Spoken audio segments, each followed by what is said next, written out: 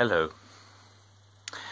At the weekend, uh, our little diocese is holding its 30th synod. And I think I've commented before that we're very lucky to to have made it to 30 years old. Um, there are some little bodies in the UK that have not uh, made it that far. Um, admittedly, we, you know, life is life is difficult when you're a small small church, but we have plenty of interesting things and happy things to talk about at Synod. Um, where we're going, what future we have, and uh, what the status quo is. Um, of course, there's always some ups and downs, um, as there would be in any any church. But on the whole, we've made it to 30 years, and that certainly uh, shows that we've got some form of sticking power. But I think one of the things that we still struggle with is, is a lot of misconception. And I've tried to give little videos to, to, to ease that misconception. I've even tried uh, to write books. I don't like plugging books very much because I think it sounds a bit um, uh, a bit uh, a bit rude, really, isn't it? But I do try and write books for people that explain who we are and what we do. And I wrote this little book, um, uh, which may or may not come out correctly on your screen. It's called it's called The Meaning of Anglican Catholicism, and I rather think that my uh, my video uh, has flipped it around the meaning of Anglican Catholicism. I wrote it because people get confused.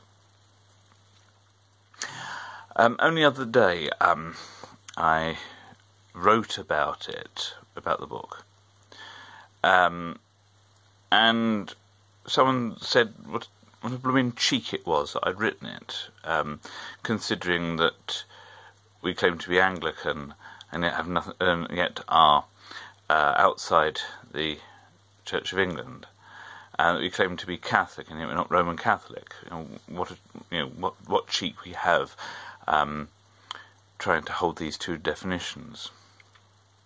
And I thought it was sad because, mainly because that person didn't actually think about what was going on. Uh, they fell back on um, modern understandings of what Anglican is and what Catholicism is. Now, I've tried very hard to say what I mean by Anglican. Um, some uh, Christians call themselves um, Anglicans, meaning nouns. Um, I don't use it like that, and neither does the Anglican Catholic Church, because we prefer to go back to how the word was first used. And the word is first used um, in the phrase Ecclesia Anglicana, and thereby um, hangs hangs the tale. So it's, it's obviously the, the church of the, the angles, if you like. So clearly, we regard ourselves as part of the Catholic Church in England, and thus our our expression of Catholicism uh, is meant for and inspired by the English speaking people. Um, our liturgy is in English. Though I say that we, uh, in the Anglican Catholic Church, we do have um, non-English churches that use, again, use vernacular. Uh, we have a, a wonderful um, bishop in Colombia um, who is doing some absolutely sterling work. Of course, he, he will be using um, the, the, Spanish uh, version of the Book of Common Prayer and the Spanish missals, which is wonderful. So it does show that we, we even though we call ourselves Anglican Catholic Church, it's it's to do with our heritage, it's to do with our family, and that's one of the things that I I try to bring out in in, in, in my in my little book, um, whereby it's not so much um, concrete definitions, but more like family resemblances. So that the idea of Anglican is more to do with what your heritage is, what your, your family relationship is. And I think that's much more Christian than uh, to have a, uh, a, a, definition such as uh, the defini- definition of a sacrament or a definition of immaculate conception or some, whatever. Um, and because it's a church, I think the family uh, resemblances is is so much more human than um, just pure theological terminology. Now, what about Catholic? Well, as we keep saying, the, the Roman Catholic Church um, doesn't have the monopoly on the term Catholic. Um, is the Pope Catholic? Sometimes, as the Orthodox might say. I think there were Catholic pope, the popes in the, the Orthodox Church at, uh, at, some point in time, but from, from, their point of view, that that, that ceased to happen. But that's that's a, uh, a different story. Um, again, what do we do in the Anglican Catholic Church? We go back to where the word was first used not with all the, the accretions that it got that got bound up with it, but how it was first used. We go back to St. Ignatius of Antioch, who talks about, again, a relationship between the people and the bishop. And it's, it's there in, in his letter to the Smyrnaeans.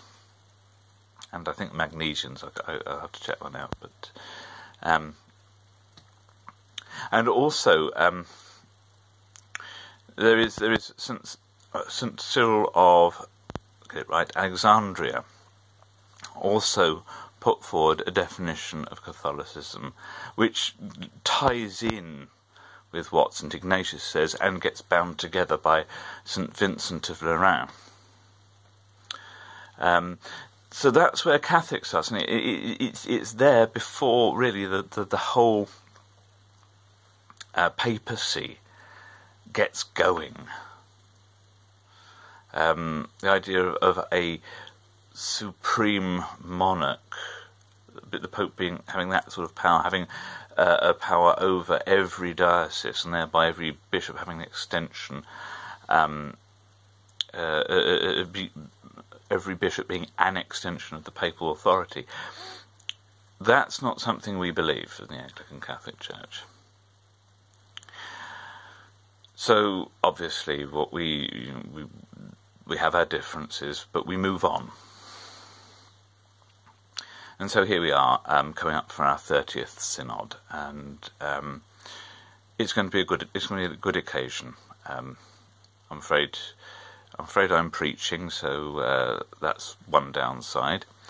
But uh, people, uh, it's an opportunity for us to meet new people. Um, got some interesting people uh, uh, who who I'm going to be meeting for the first time. I'm looking forward to it. It's part of our family. We are Anglican Catholics.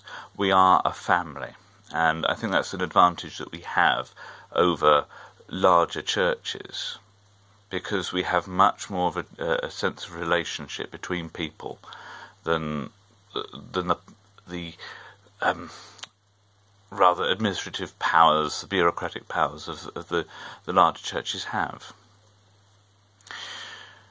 So that's where we're going, and I'm looking forward to Synod very much. And perhaps, you never know, I might see you there too. Until then, God bless you. God bless you uh, in your church, wherever that is.